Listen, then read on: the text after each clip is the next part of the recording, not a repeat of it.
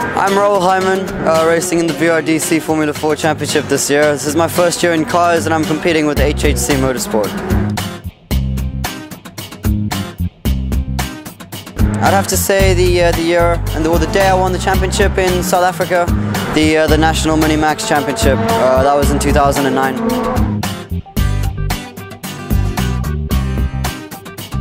I have to say the uh, the Formula 4 car, which is uh, which is pretty good for this year. It's always been uh, quite reliable, so that's good.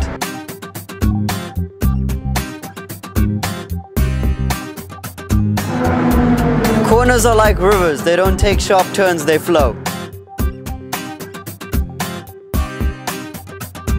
I go to London, uh, Hillsong London, the youth uh, there. It's a uh, it's a Christian church, and I'm a dedicated Christian.